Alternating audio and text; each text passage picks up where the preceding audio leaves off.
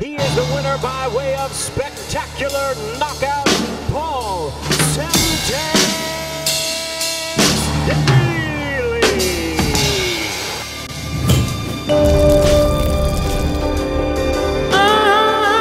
apart, ah, baby, but never proved.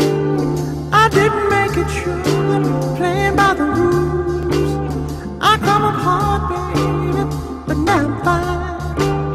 I'm checking troubleshoot, moving down the line. line, line. Buckle up, bitches. Here we go. Woodley is definitely out of his depth. I mean, this guy's a rookie.